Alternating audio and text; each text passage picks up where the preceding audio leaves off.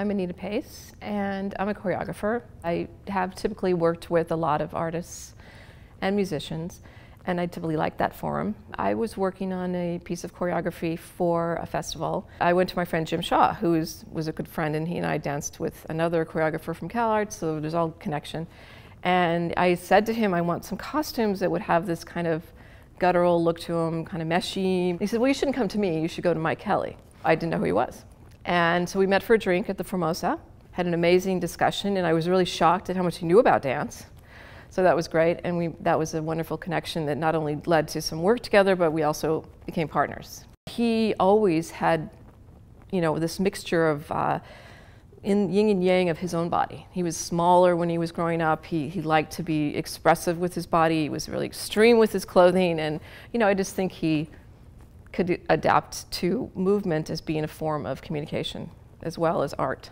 The first collaboration was Pansy Metal Clovered Hoof, um, 1989. He had created 12 silk scarves, and each one of them had these images that were iconistic of like what you would see in a high school yearbook, you know, like a corncob pipe, but you know, he would call it like Master Dick, so he would modify it. One of them actually had a penis on it. One of them had his face. You know, one of them had a potato print. So very juvenile, but you know, he built them into these beautiful silk banners. So when he was showing them at Rosamund Felsen around that time, um, he was talking with her about what should we do. And I don't remember if it was me or was him, but we both thought like we should dance in them, you know. So we took banners, and one was on the front, was on the back, and the girls were in underwear, and the boys were in underwear. But the boys had boots and the girls had bells and we created a fashion show. So that was our first collaboration. And it was, we wanted it to be very, you know, extreme and the, dance would be built on fashion modes, but would have a rock club feel to it. So there was a lot of stumping and head banging. So we got, we got dancers that had really long hair so they could flip their hair a lot and stomp. It was really beautiful. I did the next piece, I think it was 1990, called Blonde Condition. It was a piece that I did based on my Mormon background. I had Mike walk out reading these aphorisms like, you know, if, you're, if you live in a white house, your children will be blonde. So he came out and just said them in his theatrical way, and it was, it was very, very funny. So we did Beat of the Traps in 1992.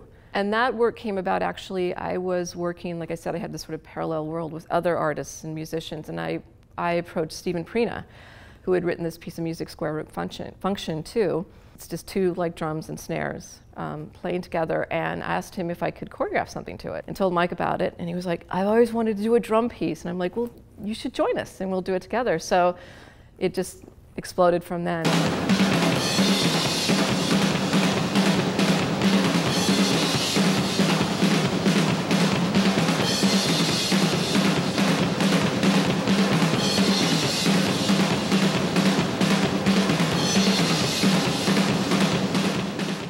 Picked um, four rock songs. One was from The Who, Blue Cheer, Jimi Hendrix, and uh, Led Zeppelin.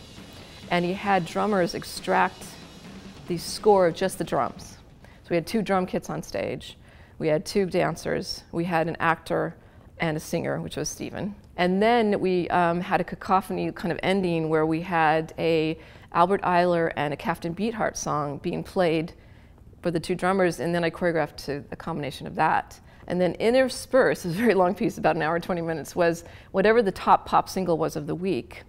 Stephen would sing it, and then we would either just play the B-side depending on what we wanted to do, or we would have a dance to it. So there was like 10 elements to it. In 1995, we created Pole Dance. And Pole Dance was a collaboration between Tony Oursler, Mike Kelley, and myself. They were in CalArts together in 1975, they made this score and they were using poles in it.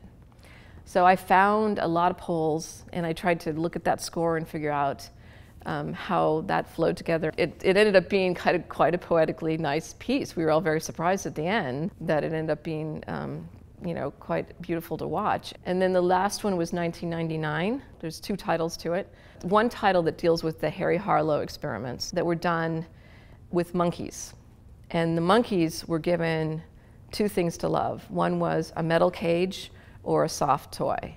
He had actors who were therapeutically dealing with the idea of this modeling of your behavior based on your love, comfort. And I choreographed a Martha Graham sort of piece through the midst of the trauma related um, movements of a monkey and a couple of actors.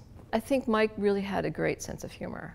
And having, you know, the ability to um, be fearless in designing work that was, in his mind, hilarious and, and actually very juvenile on the same side, gave people a lot of entrance into his work. So, I mean, I think there was this freedom that he gave himself.